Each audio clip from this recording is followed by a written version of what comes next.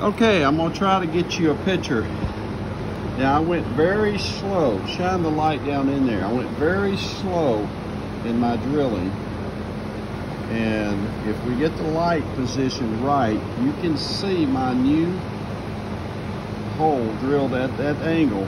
You can see the original star triangle and you can see my new hole I've drilled at an angle into the high pressure side.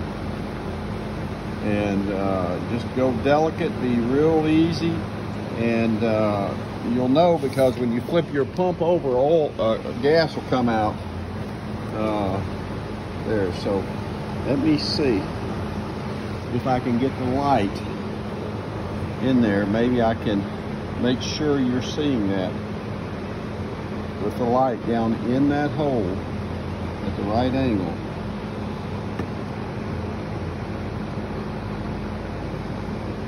I'm spinning it around at different angles, hopefully hoping that you can see that.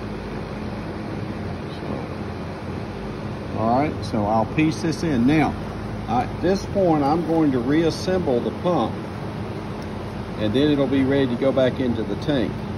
Uh, that mod has been done at that point, at least for the pump on the inside of the tank. And uh, we'll go from there.